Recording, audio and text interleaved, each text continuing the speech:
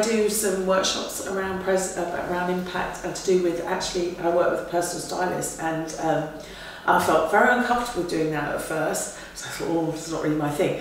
But she wanted a coaching element with the styling and actually it's been amazing because um, it's with women but their personal impact you know um, how people don't feel great about how they look as well as how they feel and uh, people don't know in the same way that I said to you that people uh, don't feel they can be their authentic self, can't present who they are in the workplace. Same it is with how actually they look. And I'm, I don't know if this falls in the lines of uh, personal impact, but to me it does a little bit. But people don't understand that they can be authentically themselves in how they, even like the clothes they choose.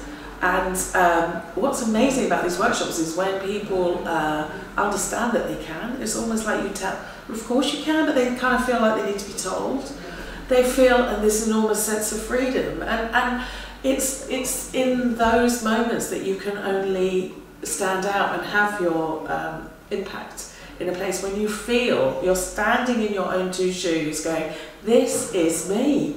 This is me every you know I know myself I stand behind everything I say I stand behind what I'm wearing and this is how you have impact I think in your mind and in your you know externally. And it's it has a lot of power it does have a lot of power but the only way you can do that is to be able to say this is me I'm me I'm me and I'm okay.